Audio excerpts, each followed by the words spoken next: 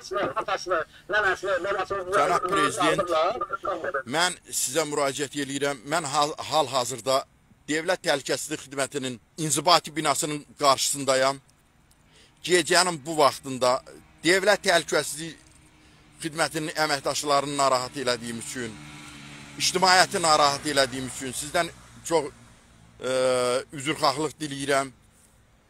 Cənab Prezident, mən mart ayından 6-sında bağ evimin uçurulması barədə, bağ evimin talan olunması barədə baş prokurorluğa, Dövlət Təhlükəsizlik Xidmətinə, Daxilişlər orqanlarına məlumat vermişəm.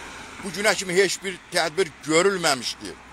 Hal-hazırda da qonşular zəng çalıb məlumat verirlər ki, gecənin bu vaxtında bulduz yer salıb bağı uçurdurlar. Bu nə deməkdir? Bizim dövlətimiz var. Biz hüquqi dövlətdə yaşayırıq. Bizim şikayətimizə heç yerdə baxan yoxdur. Bunlardan soruşan yoxdur mümkün. Bu bağı, bu əmlakı niyə məhv eləyirsən? Axı siz kimsiniz? Axı sizə kim səlahiyyət verilib?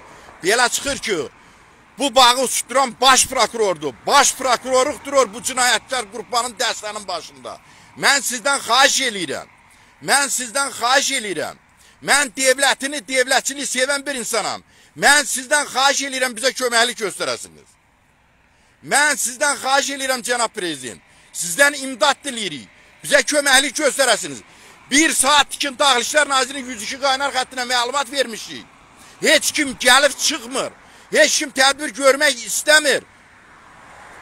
Demək bu işin başında prokurorluq orqanları durur. Prokurorluq tapşırıb polis qorxusundan əraziyə hadisə yerinə gələ bilmir. Mən sizdən xahiş edirəm bizə köməklik göstərəsiniz.